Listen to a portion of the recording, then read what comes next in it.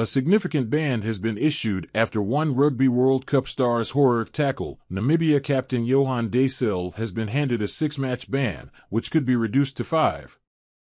For his head to head tackle with France star Antoine Dupont that sent the fly half to the hospital for surgery following a fractured cheekbone.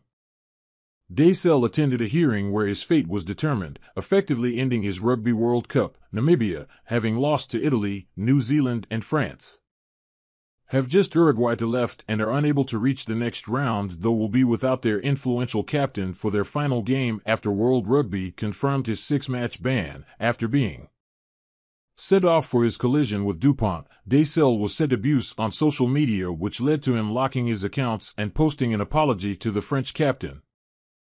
I would like to extend my best wishes to Antoine Dupont, he said.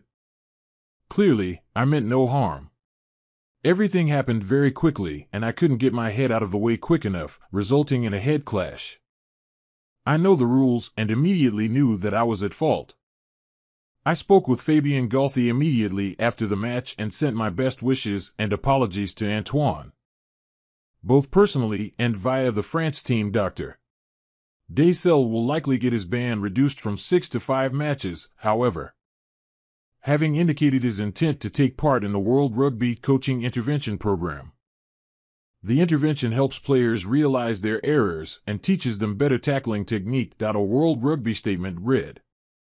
Namibia's Johan Deysel attended an independent disciplinary committee hearing for an offense contrary to Law 9.13 as a result of a review by the Foul Play Review official in Namibia's Rugby World Cup 2023 Pool A match against France on September 21st.